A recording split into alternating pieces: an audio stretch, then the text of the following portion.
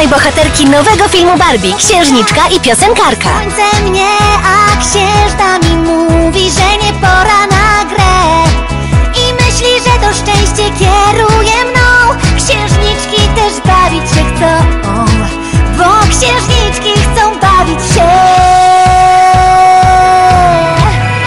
Jestem tu, robię to co chcę Oto księżniczka Tori i piosenkarka Kira. Film na DVD już w sklepach.